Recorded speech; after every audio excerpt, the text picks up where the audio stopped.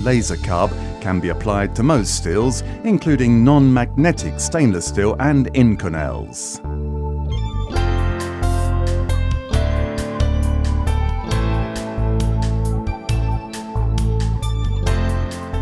The Lasercarb process allows almost any shape or combination of shapes to be coated.